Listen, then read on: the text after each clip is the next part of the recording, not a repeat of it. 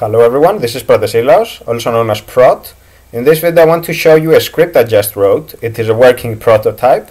This is a timer for the terminal, a simplistic timer for the terminal, which is aptly name, named uh, TMR. TMR must recur. So I will first uh, show you how this thing works and then walk you through the code a bit uh, because I think it does uh, some things that might be of interest. So TMR, um, actually I'm not sure if you can read this thing here. Uh, let's increase the font size a bit.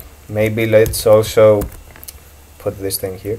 Uh, change the layout of tmux. So TMR must be must be run with a single argument, and the argument needs to be a valid unit of time. So seconds, minutes, or hours.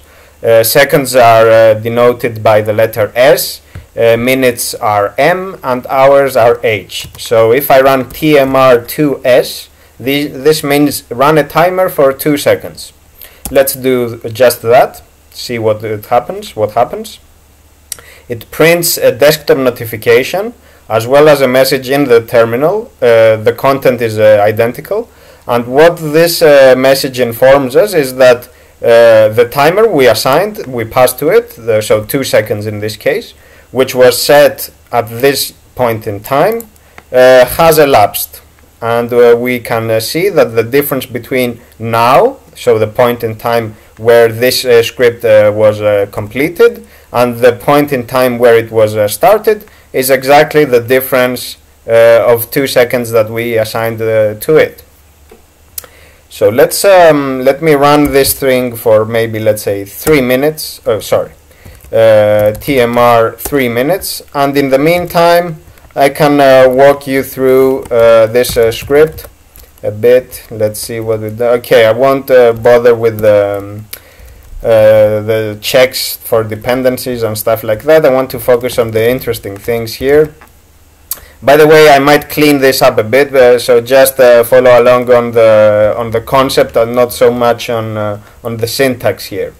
So what I want to do in this specific example here, I want to take the argument and uh, remove the very last character uh, from it. So in this case, 3m, I want to remove the letter m.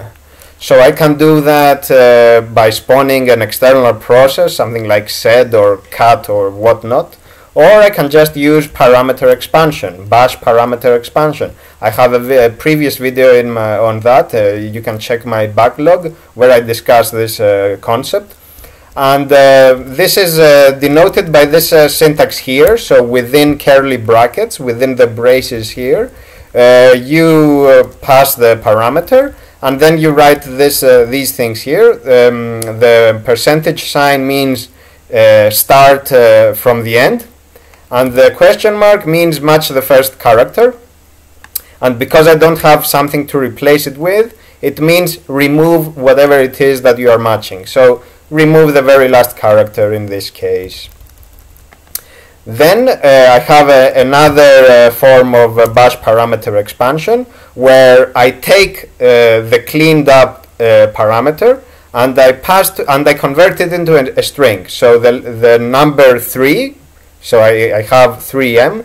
The number 3 will be converted into 3 minutes ago. So it will be converted into a human readable string. And the same will uh, be done for hours, 3 hours ago uh, or 3 seconds ago. Uh, of notice is uh, this thing here, this uh, message here, in case you try to run it uh, with days where the timer mustn't be ridiculous. And uh, the capitalization is uh, the choice of capitalization is interesting because it is a it writes again timer. Uh, enough with the silly jokes uh, which are um, I guess uh, endemic in the free software world.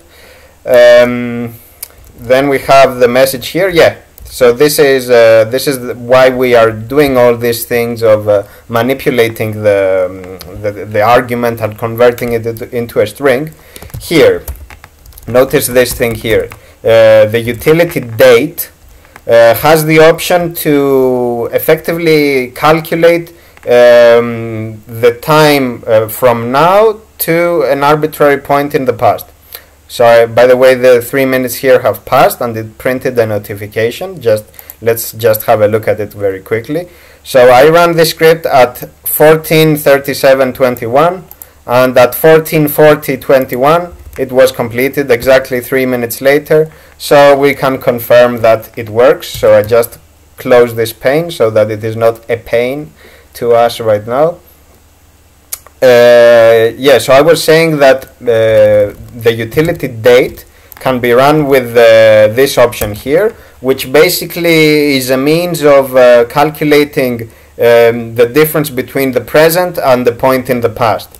And uh, the, uh, the string here is human readable. You can say, for example, five minutes ago or a week ago, and it will tell you what it was a week ago, based on the syntax you define here.